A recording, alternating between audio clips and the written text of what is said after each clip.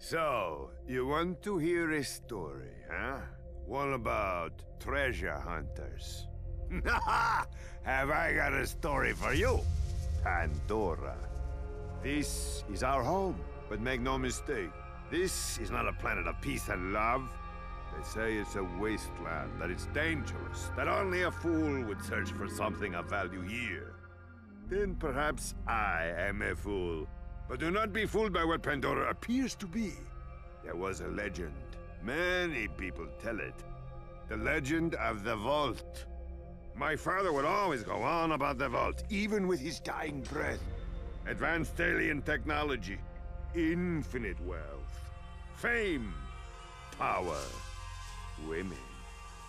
So you can understand why some little kiddos who hear the stories grow up to become Vault Hunters.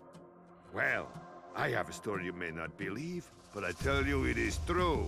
The legend of the Vault is real, and it is here on Pandora. And a, yeah, let's call it a guardian angel, appeared to guide the Vault Hunters to their prize.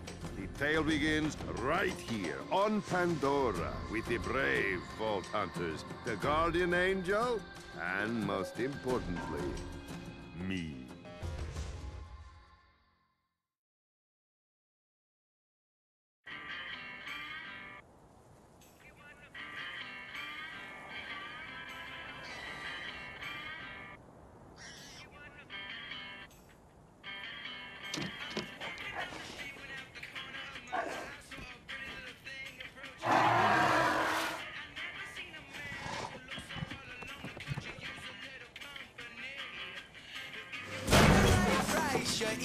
Be nice and you can go and send me on my way.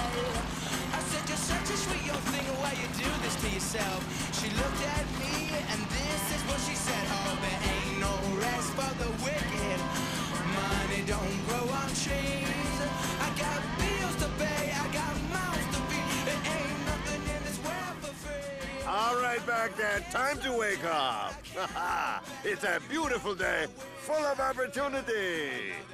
No rest for the wicked until we close our eyes for good.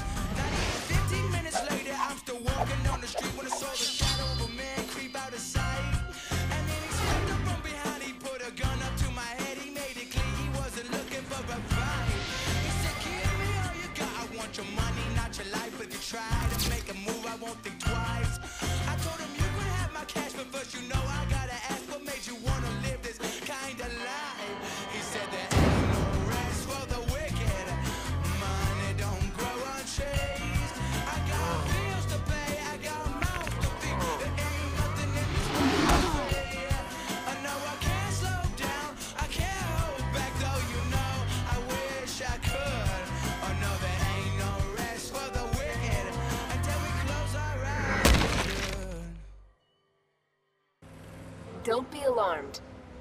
I need you to stay calm and don't let on that anyone is talking to you. Start making your way off the bus. You don't have any reason to trust me, but I need you to believe that I'm here to guide you.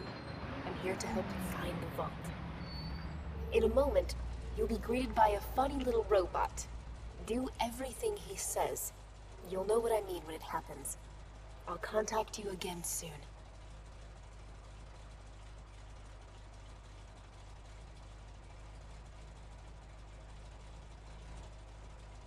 Well, we're here. Don't worry about saying goodbye. I'm sure we'll be doing this all again soon enough. ah, get off my bus.